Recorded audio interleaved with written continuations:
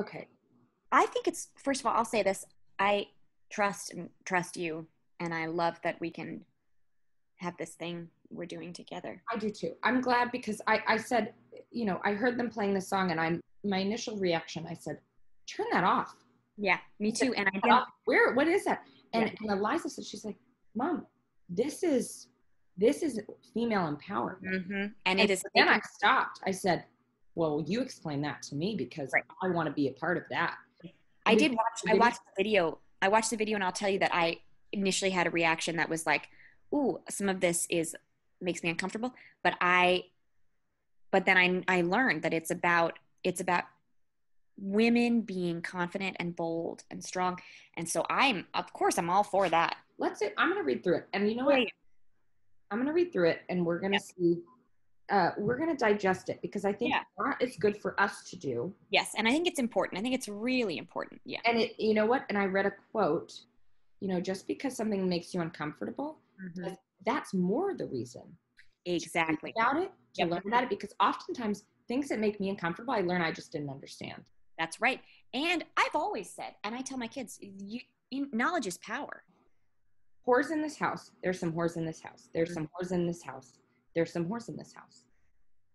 Hold up I mean, all right, certified freak, seven days a weak. every day. Wet ass pussy. Make that pull up game week. Mhm. Okay. Uh, that's a little i think that's layered because so if you're not on an oral contraceptive Mm. and you're just and the man is, Of is course, they got to pull out. Right because it's not it's not his decision to have a baby if it's not What it's she's not, saying, what she's saying is, you don't even.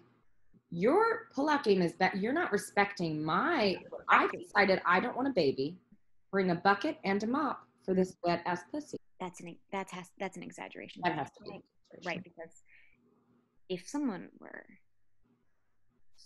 had that much arousal for a bucket and a mop But that's not right. But this is what I'm like.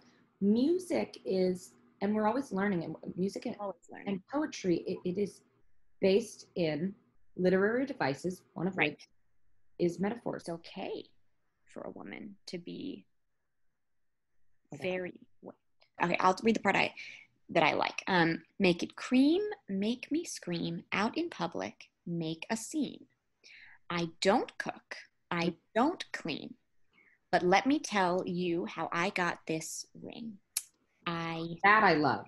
I That- love that. Oh my god! I would I would play this on on the drive to school.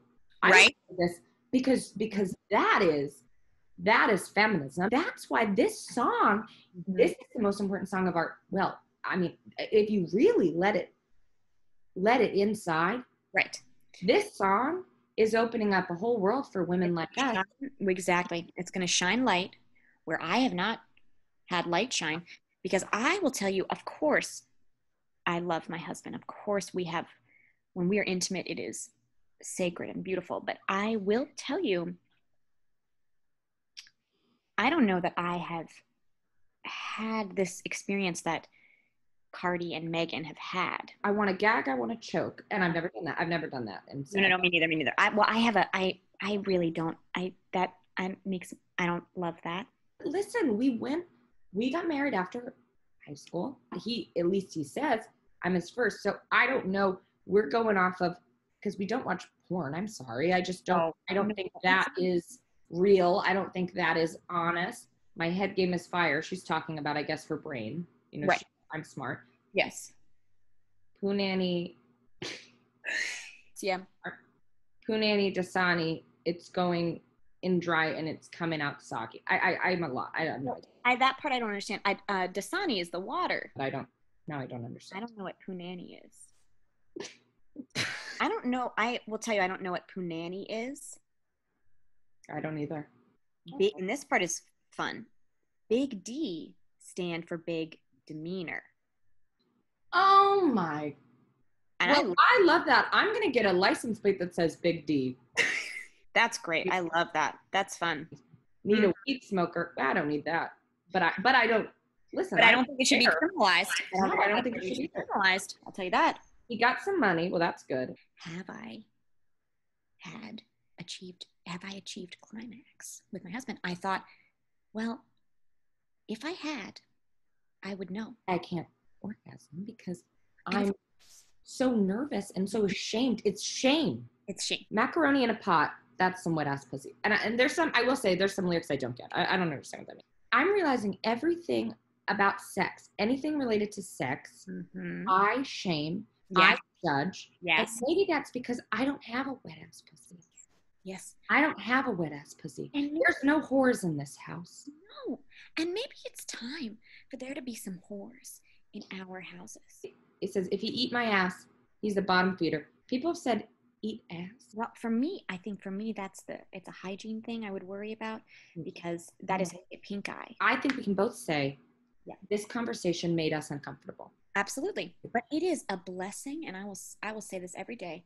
It is a blessing to have you as a friend. I look at you and I see I see a woman that I want the world for.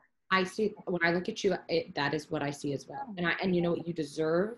You deserve And I think what has been we've always said you deserve family, you deserve happiness, you deserve love. But today I say you deserve a wet ass pussy.